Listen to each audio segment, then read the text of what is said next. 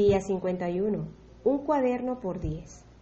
Es muy probable que te hayas unido al experimento de la prosperidad porque tus finanzas no están tan bien como quisieras. Si es así, es comprensible. El tener una dirección para tus asuntos financieros no solo es importante, es vital.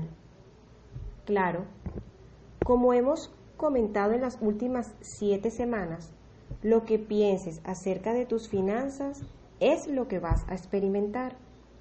Recibimos lo que creemos. Si creemos que la vida está llena de límites y que el dinero no llega fácilmente, así será.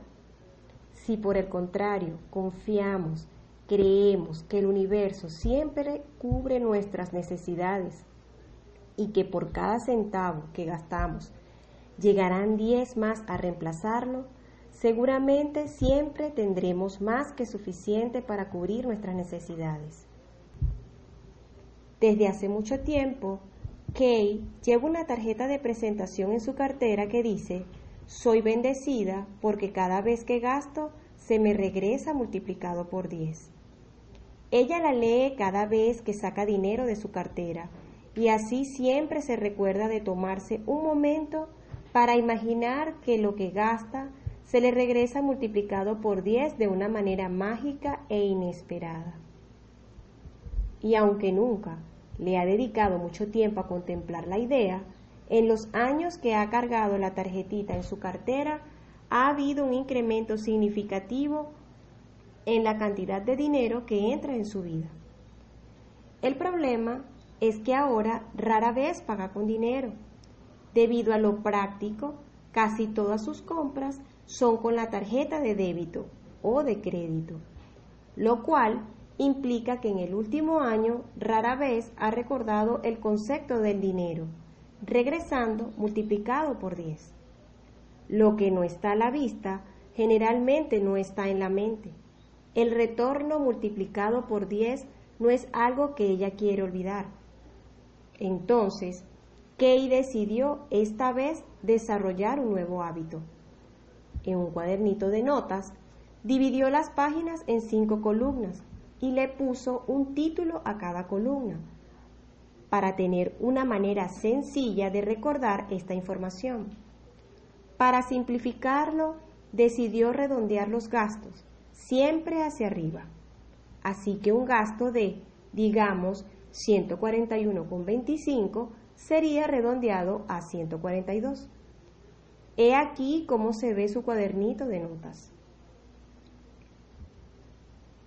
Bajo el título de fecha, coloca la fecha del gasto. Después sigue el monto gastado en la siguiente columna. Bajo la columna de recibido, escribe la cantidad que espera recibir, o sea, el monto gastado multiplicado por 10. A continuación, coloca el 10% del monto recibido. Este es el diezmo. Quizá no comulgues con la idea del diezmo y te quieras brincar esta columna, pero recuerda que todo este experimento se basa en el dar. Si espero que se me regrese todo lo que gasto multiplicado por 10, lo menos que puedo hacer es regresar una décima parte. En la columna final, Suma las cantidades de las tres columnas anteriores y eso se convierte en el total de energía del dinero que gasta durante una transacción particular. El dinero es, como todo, energía y se utiliza como la manera comúnmente aceptada de intercambiar una forma de energía por otra. Es un medio de intercambio. Este cuadernito le ayuda a recordar que vive en un mundo energético que controla con sus pensamientos, sentimientos y creencias. Así es como vale la pena el esfuerzo. Ahora, cada vez que paga con sus tarjetas, se toma un momento para registrar el gasto en su cuadernito y después se toma un momento para agradecer, no solo por lo que espera se le regrese, pero por también tener la oportunidad de sembrar las semillas de la prosperidad. Y finalmente, se toma un momento para leer la afirmación que ya movió de su cartera hasta el frente de su cuadernito. Soy bendecida porque cada vez que gasto se me regresa multiplicado por 10. Quizá pienses que esto es demasiado complicado, pero antes de que lo descartes como una pérdida de tiempo, recuerda que hemos pasado las últimas siete semanas discutiendo el cambiar los sentimientos, el pensamiento y los patrones de creencias para poder cambiar nuestras vidas. Esta sencilla acción logra las tres cosas. Así es que la próxima vez que vayas a la gasolinera y te gastes 100, 200 o 300 para poderte mover de un lugar a otro unos cuantos días, recuerda que la vida es el reflejo de lo que creas que es verdad.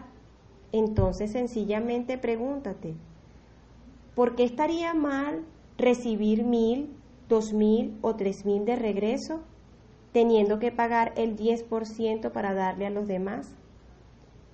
Y mientras esperas la respuesta, ve a buscar tu cuadernito. Lo vas a necesitar para registrar lo que se te va a regresar multiplicado por 10. La acción del día. Lee tu plan de negocio para la prosperidad y las 11 cosas de tu lista de agradecimientos. Toma un momento para pararte firmemente con un brazo alzado hacia el cielo, el puño firme como si te estuvieras agarrando de la mano de Dios. Ahora, ya sea verbal o mentalmente, repite, con Dios por testigo, declaro, hoy soy poderoso, hoy soy valiente, hoy soy fuerte, hoy estoy libre de miedos, hoy triunfo en todo lo que hago, hoy prospero y vivo cada momento de este día abrazando mi verdadera naturaleza, siendo la persona que estoy destinada a ser. Esta es mi verdad. Nota. Lleva siempre en tu bolsa o cartera la tarjeta que escribiste con estas líneas para que la puedas leer cuando sientas dudas o cuando tengas miedo.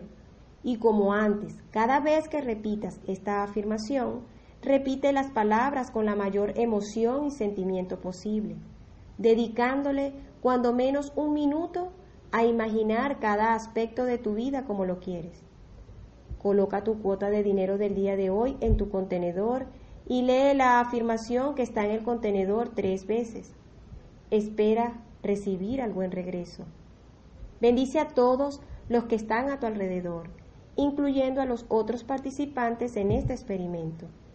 Imagina cómo aquellos a quienes bendices prosperan y se rodean del bien. Entonces, bendícete a ti mismo e imagina lo mismo. Puedes continuar bendiciendo a la persona o personas en tu lista de bendiciones. Lee todas las bendiciones que llegan por correo electrónico. Tus bendiciones están haciendo una diferencia. El leer las respuestas te dará la oportunidad de verlo por ti mismo el pensamiento del día. Tu economía siempre se ha tratado del intercambio de la energía humana. No hay escasez de nada. Los que creen que hay escasez permanecen en el lugar donde evitan que la energía fluya hacia ellos. Y entonces, al resistirse, no obtienen lo que quieren. Y dicen, soy la prueba de que hay escasez. Y aquel hombre que tiene tanto es el culpable de que yo no tenga. Ese hombre no tiene nada que ver con tu escasez. Ese hombre es la evidencia de que hay abundancia. Abraham. La afirmación del día. Mi dinero trabaja para mí. Siempre regresa multiplicado por diez.